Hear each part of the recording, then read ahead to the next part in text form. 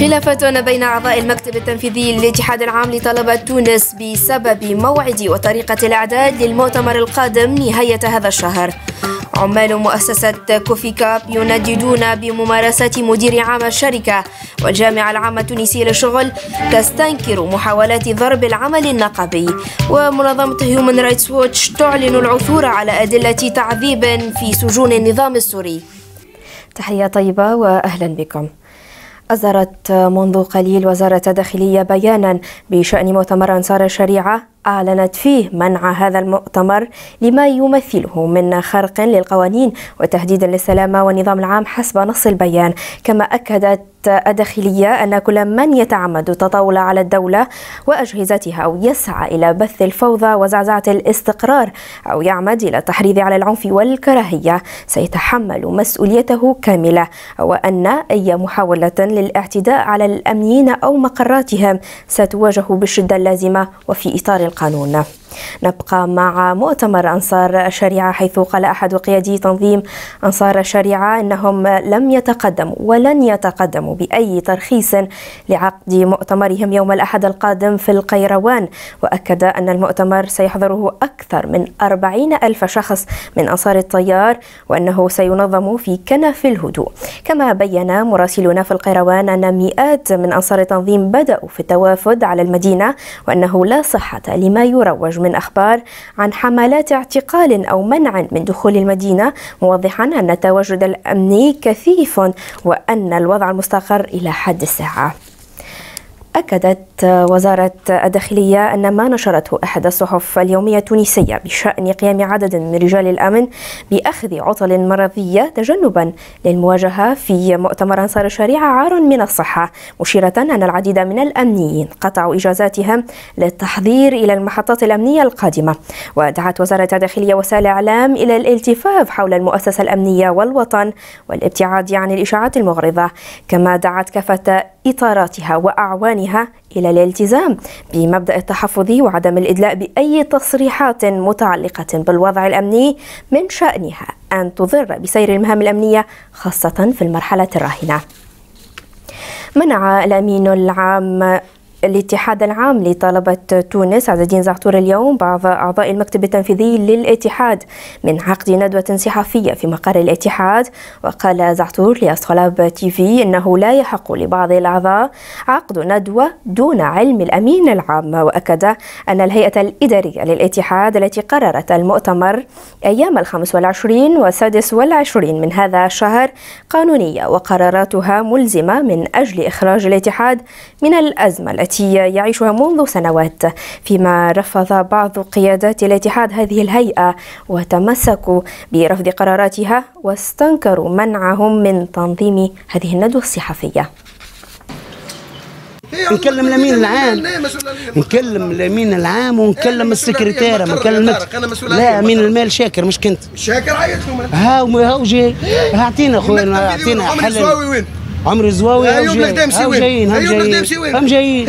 هم جايين. سالم المومني وين؟ هاو هاو هاو سالم المومني. عيط وعيط للمكتب التنفيذي. اذا المكتب التنفيذي فيه خلاف. لا المكتب التنفيذي فيه خلاف. خلاف. اما امين عام بارك أنت عضو مكتب تنفيذي عضو مكتب؟ تنفيذي هذه الندوة الصحفيه وقتاش؟ اليوم ل 11 ل 11 هاي اليوم ل 11 هاني أنت عضو وأنا عضو. نحن وزراء هي كيفاش نطلعوا لك أنت هاك مسكر الباب مش من حقك. ما في بلاش. ها حلوة والفاتحة حلو. ما في بلاش. كيفاش ندوه صحفيه تقول فيها حل حل. حل.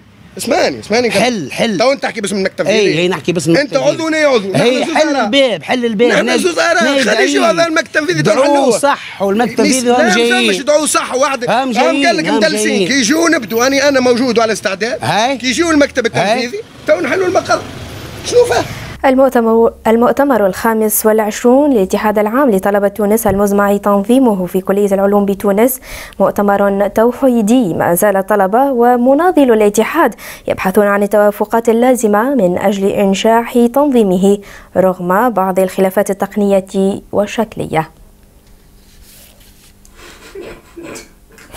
الصراع القائم اليوم في إطار الاتحاد العام لطلبة تونس هو الصراع بين تصورين متناقضين للمؤتمر القادم للمنظمة الطلابية. التصور الأول يرى أن هذا المؤتمر يجب أن يمر حتما عبر بوابة المكتب التنفيذي. هذا المكتب التنفيذي يعود إلى سنة 2003 أي المؤتمر 24 وأعضاء هذا المكتب اليوم كلهم ليسوا بطلبة. هذا التصور يرى إقامة مؤتمر معزول عن الساحة الطلابية معزول عن الجماهير الطلابية ولا يعبر عن تطلعاتها. أما التصور الثاني يرى أن اللجنة الوطنية هي الإطار الشرعي والوحيد من أجل المضي قدما في إنجاز مؤتمر جماهيري وديمقراطي ومناضل. ما فماش صراع مع بين التوجهين في الاتحاد العام لطلبة تونس آه، هناك بعض الخلافات ذات الطابع التقني بالأساس. ما فماش قضايا سياسية عامة ونقابية مع محل خلاف. هي فقط نقاط خلافية حول بشكل انخراط صلاحيات اللجنة إلى آخره. وفي الحقيقة فما نقاش مفتوح مع أغلبية الأطراف اللي نحن نتصوروا باش تلتحق بالمؤتمر نتاع الاتحاد العام لطلبة تونس. نحن عملنا هيئة الاداريه يوم السبت الفارط وقررنا مؤتمر الاتحاد آه، نهار 25 و 26 بكلية آه، الحقوق بتونس. عقدت النقابة الأساسية لأعوان وموظفي شركة كوفي كاب تونس ندوة صحفية تنديدا بقيام مدير الشركة بطرد 14 عاملا منهم سبع منتمين للنقابة وهو ما اعتبرته ضربا للعمل النقابي. المطالبة بترسيم العمال وتطبيق الفصلين الثالث عشر والثامن عشر واحترام الحق النقابي أهم المطالب التي تقدمت بها النقابة الأساسية لشركة كوفي كاب الإضراب تاعنا بدأ من نهار ثلاثة حتى نهار آه، عشرة في الشهر ثمانية أيام. وفي الوقت هذاك ما استجابش حتى ما قعدش معنا وما استجابش المطالب نتاعنا اللي هي عادية معناتها ترسيم العمال يتفاوتوا اللي يتجاوزوا أربع سنوات. ونفذ أعوان وموظفو شركة كوفي كاب اضرابا لمدة ثمانية أيام دفاعا عن مطالبهم إلا أن مدير الشركة قام بطرد 14 عاملا منهم سبعة عمال منتمين إلى النقابة. وقت عملنا الإضراب في إطار القانون تسبى المناح حب يطرد النقابة طرد 14 كما قال لك أعضاء النقابة واللي تصورهم باش يعوضوهم بعد.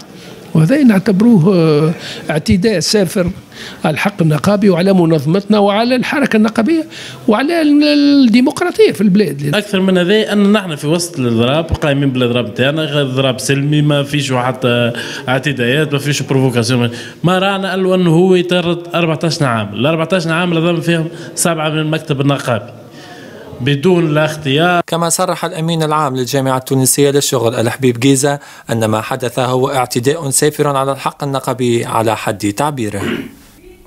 نفذ الأساتذة المتعاقدون بكافة تراب الجمهورية اليوم وقفة احتجاجية أمام مقر وزارة التربية للمطالبة بإدماجهم وتسوية وضعيتهم. وأكد رضوان التايب أحد الأساتذة المتعاقدين أن حوالي ألفي أستاذ قرروا تنفيذ هذه الوقفة للتنديد بما يتعرضون له من تهميش وهضم لحقوقهم على حد تعبيره. والآن ننتقل إلى الأخبار العالمية.